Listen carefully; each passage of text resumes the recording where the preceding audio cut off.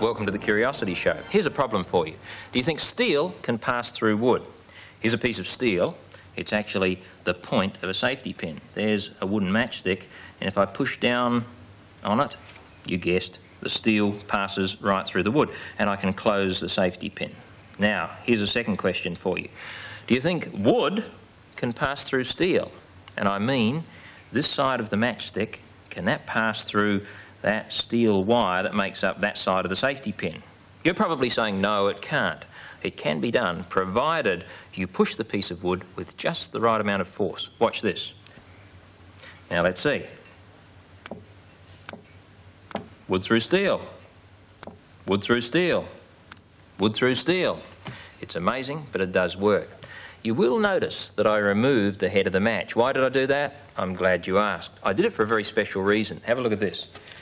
Here's a matchstick where the head is still intact. I'll push down on the left side of the match and notice that the head is on the right. Here we go.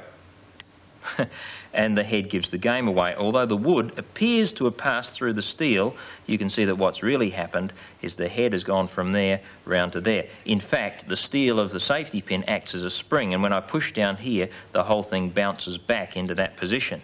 But it happens so fast that your eye can't pick it up. What we really need to look at that first matchstick is a slow motion action replay, and you'll see it then. Here it comes.